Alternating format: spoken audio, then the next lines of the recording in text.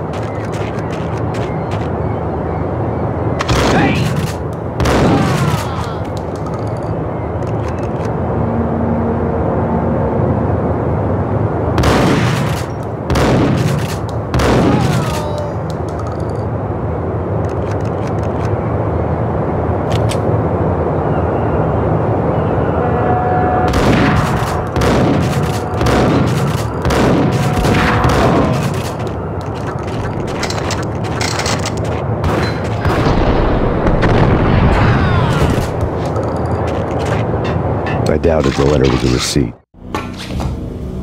Rico Muerte had come to town to do more than just sort out family troubles. Exhibits number one, two, and three. Briefcase of money, a sniper rifle, and an envelope with one word neatly printed on a folded piece of expensive paper. Mayor. It didn't sound like a mafia contract at all. It was too cold and too to the point.